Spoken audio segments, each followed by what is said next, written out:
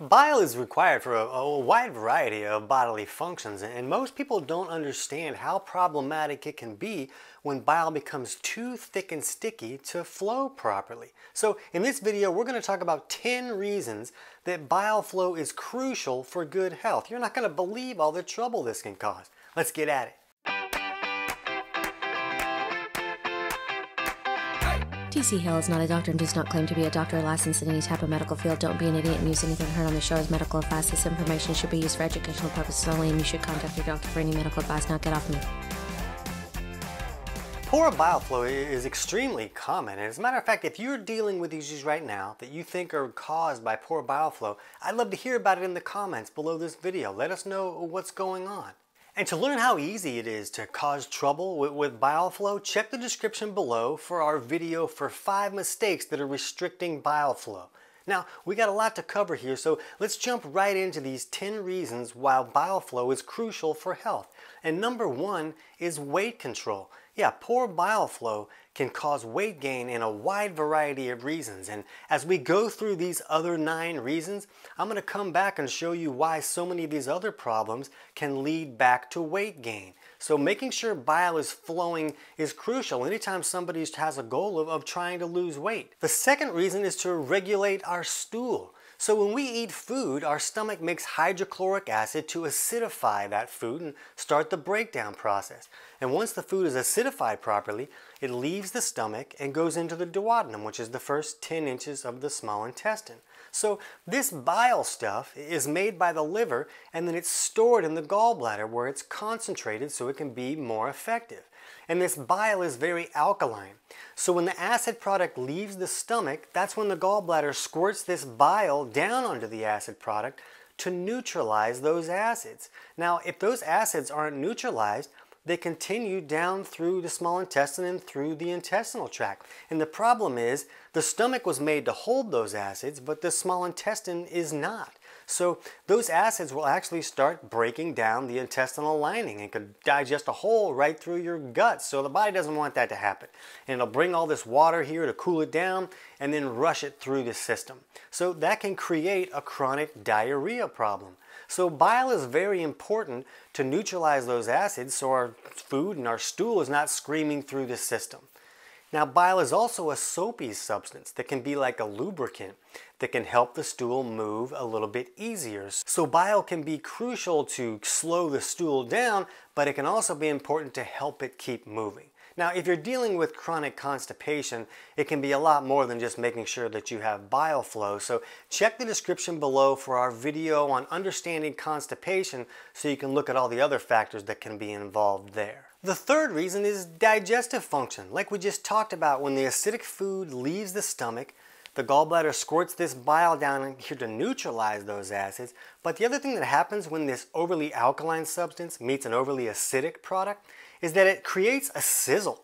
And this sizzle is what we're living on. This sizzle is what helps us bust that food apart and pull all the nutrients out of that food. That's what helps us access the vitamins and the minerals and the amino acids and everything that we're trying to get out of that food to help our body function correctly. So without this sizzle, we create nutrient deficiencies and a wide variety of other problems. If you can't access the, the nutrients and the minerals in the food you're eating, that's going to lead to cravings. Cravings come from the body saying, hey, I'm not getting all the stuff that I need. Give me, give me something else. So you really need to be able to give the body what it needs to keep it from screaming from these easy to process and break down junk and carbs and sugars that are going to spike insulin and lead back to that weight gain that we were talking about. So that's a big deal with weight gain is you need to be able to control your cravings or how are you going to stick to any type of healthy eating.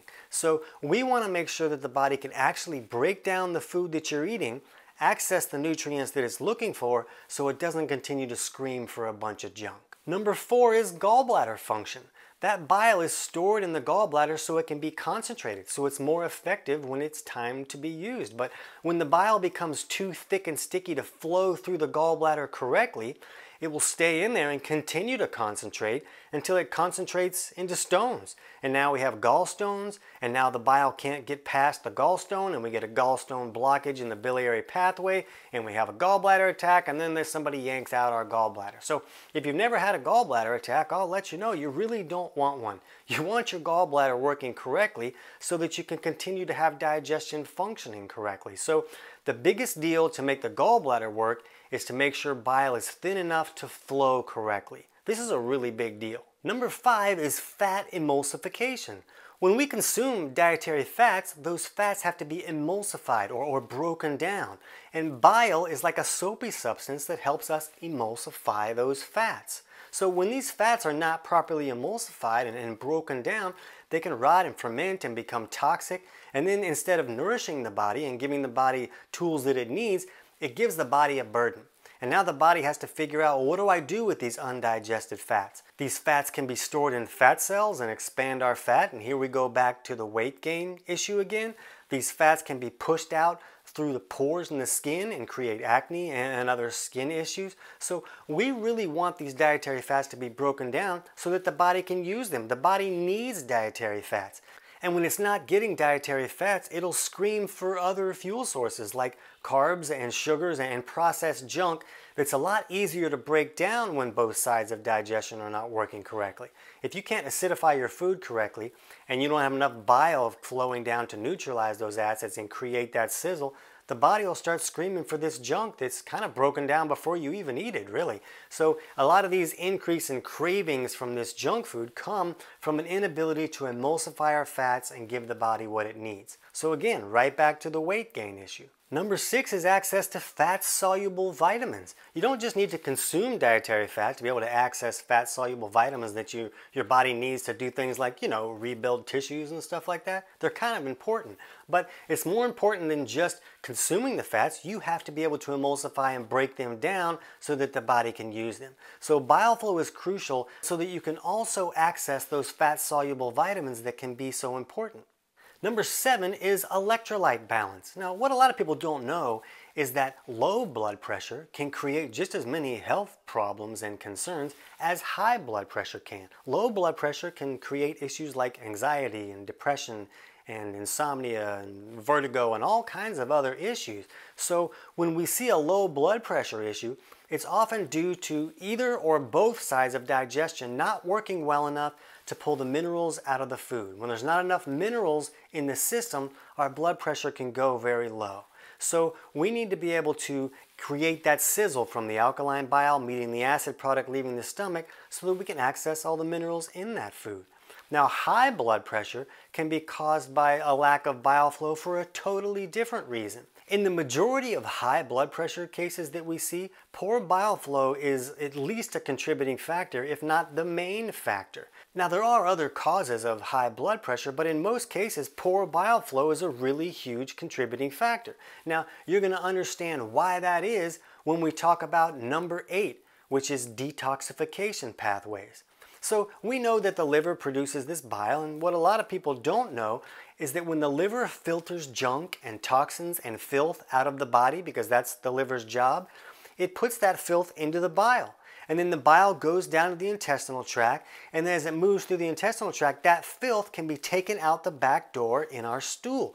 That's the body's main exit strategy for filth and toxins. So if the liver is filtering out all this junk and putting it in the bile, but the bile has become too thick and sticky to flow correctly, well, the trash doesn't get taken out. What happens in your house if your trash doesn't get taken out? It all accumulates and you got a trashy house. Well, you got a trashy body when the bile isn't flowing well enough to allow those toxins to be removed. So when the bile isn't flowing, the filth and toxins that the liver filtered out, they get reassimilated into the body. And the liver's got to filter it all out again. It's like, hey, I just did this. Why are you giving me this again? And eventually the liver will get overwhelmed and it can't keep up with all the toxins. So as these toxins accumulate in the bloodstream, the filth and toxins thicken up the blood, and now this thick blood creates more pressure to push the thick blood through the system, and our blood pressure goes up. So when someone with high blood pressure improves their bile flow, it can really bring down blood pressure in a big hurry because now the body has an exit strategy for all these filth and toxins. But all these detoxes and cleanses are so popular right now. Like all the cool kids have some detox that they want you to do. And hey, for 10 days, we're just going to eat crayon wrappers or just drink this gallon of motor oil to cleanse out your system. And the reality is, what if we just allowed the body to detox the way that it's supposed to? What if we just help the body function the way that it wants to function, get that detox pathway working, and then you don't have to eat Crayola wrappers and, and motor oil for lunch? Now, the big problem with an inability to detox is that the liver has other jobs it has to do. So if it's overwhelmed because its detoxification pathway isn't working and it's filtering out the same junk over and over again, then it can't do the other jobs it's supposed to do as well, which brings us to number nine, which is cholesterol production. The liver is in charge of most of our cholesterol. Very little of our cholesterol comes from dietary cholesterol. Like 85% of our cholesterol is made by our liver. And the problem is that the body uses cholesterol to deal with inflammation. Cholesterol is not this evil thing like we've been told. If you don't understand that yet, check the description below for our video on cholesterol and saturated fat so you can understand what's really going on here. But cholesterol is used to deal with inflammation and when the liver is so overwhelmed that it can't make enough cholesterol, then the inflammation goes up. A lot of people deal with chronic pain just don't have the ability to make enough cholesterol to deal with that inflammation. That brings us to number 10, which is another problem with the liver. Liver is in charge of converting T3 to the active T4 so that our thyroid can function. So if the liver is too overwhelmed to do that, then we don't get that conversion, and that means that our thyroid isn't going to work. And everybody's upset about how my thyroid is not working, but they don't look to see how their liver is functioning. Does the liver have the ability to even make that conversion? And now my metabolism's out of whack and my pants don't fit. So here we go back to weight gain again. So you can see we went through 10 different issues that can really go wrong when bile is not flowing correctly. And more than half of them led back to the ability to a person to gain weight. So we can see that improving bile flow not only can help all these health issues, it can also make weight loss a whole lot easier. To help you figure out if your bile flow has a problem or not, we have a totally free digestion course, and we'll put the link to that free course in the description below. And the free course will help you walk through these simple tests that you can do at home using tools that you can pick up like a pharmacy or a health food store. And those tests will help you figure out is bile flow an issue? Are there other aspects of digestion that may not be working correctly? And the steps that you can take to improve those. So for now, also watch our video on 5 steps to improve bile flow so that you can get more insights into steps that you can do right now to make sure bile is moving. I can't wait to hear about your results.